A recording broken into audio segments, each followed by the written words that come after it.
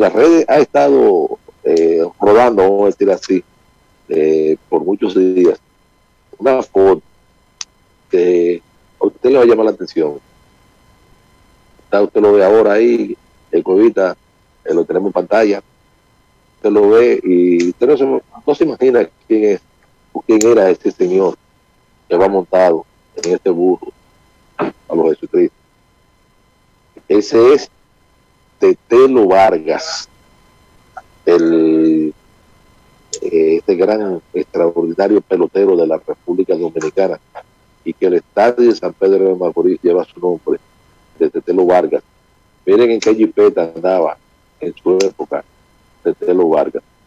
Claro, los jugadores en ese tiempo no ganaban dinero. Ese tiempo era por picapollo. Recuerdo que nos decía eh, a un grupo de cronistas deportivos, el primer dominicano en jugar en grandes ligas, eh, como lo fue Osvaldo Virgil, que el sueldo para esa época, para un pelotero, era 150 pesos mensual, mensual, no quincenal como hacen ahora. Le pagaban el, el hospedaje, como usted decía, pagaban una, una habitación en una casa de familia, no como ahora, que a los peloteros lo alojan en, en el estrella, te dan el almuerzo, la carta, eh, eh, lo trasladan a los sitios, lo, van a jugar. Antes ellos tenían que pagar su transporte, eh, pagar su comida, porque le daban el alojamiento, o le pagaban la habitación.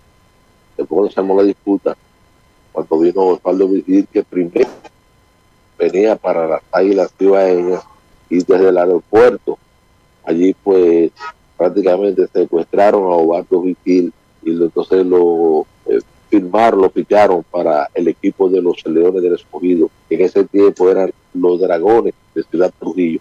Y entonces, eh, por eso jugó Con el equipo de los Leones del Escogido, pero vino contratado por el equipo de las Águilas Cibaeñas desde los Estados Unidos. Así andaba Telo Vargas, uno de los mejores jugadores del béisbol de la República Dominicana de todos los tiempos. Puerto Rico, un astro. En la Liga Negra también tuvo su historia.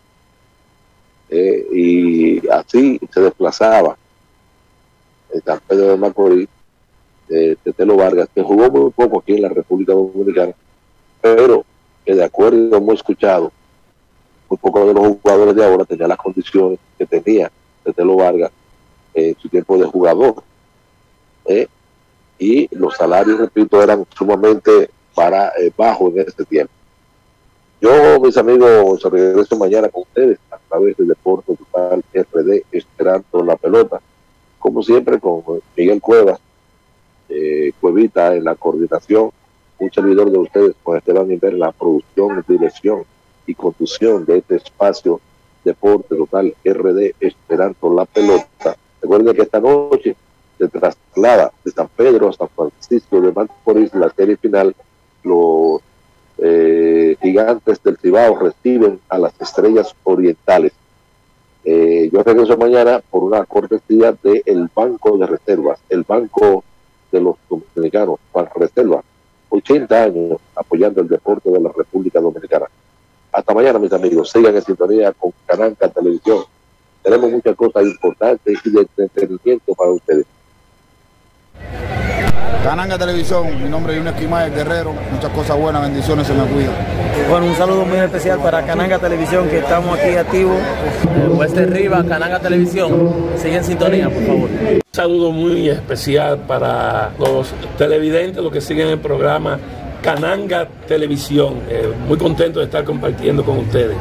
Un saludo de, para Cananga Televisión de parte de Tony Batista, pelotero profesional de las Águilas.